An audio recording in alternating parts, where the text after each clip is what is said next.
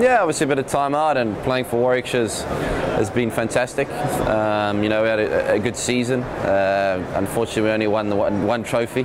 Um, you know, and you look back on it, we, we had a chance to win all three. Um, so to finish second in the other two and win the, the T20 is fantastic. Um, and I'm very excited to go away with the Lions to South Africa. A uh, bit of training before Christmas, um, just to get you know flush out the winter and, and get fit before Christmas, and then actually fly out on, on New Year's Day. So. Uh, you know, it, it's, I've done a few Lions tours in 2007 and 8, and um, you know, it's uh, definitely helped me and, and aided me in my development as a cricketer. So hopefully, I can do the same now. Um, I'm not so sure about proving and, and, and, showing. I think it's more about getting back into the the, the, the mix of things and, and, and um, you know traveling again and, and, and playing in new teams. You know, obviously, get, you get used to going back and playing with Warwickshire, and you know that's half the battle is is how you fit in and, and gel and, and, and, adapt to to being uh, on the road all the time and playing. Um, different conditions, um, so it's that's I think that's the main thing, and it's you know it's really exciting for me to to, to, to get back into that, and uh, you know I've always enjoyed touring, so um, I don't see why it'd be any different now.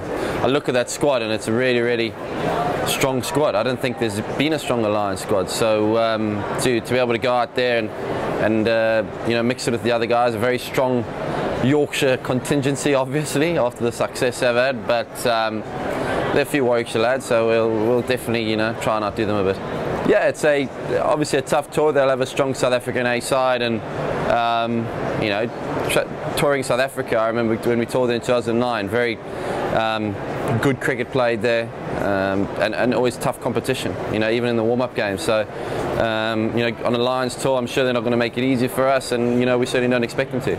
I think that's always been the case with myself. Um, you know, it's, it's, I don't want to look any further than you know the end of January when this tour ends, and and we'll just see how we go from there. So uh, you know, it's um, I'm really pleased with the, the way the, the, cricket's gone with Warwickshire this last you know couple of months. Um, you know, I really enjoyed it. Winning obviously helps, being part of a successful team, but uh, it's nice to contribute to, to, to the club's success.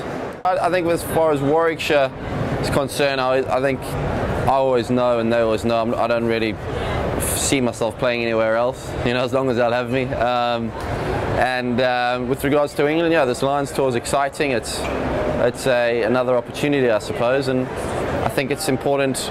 You know, I, I see it as a as a, uh, a good example. Uh, sorry, a good uh, chance to, to to go out there and work on my game, and uh, you know, hopefully impress the selectors.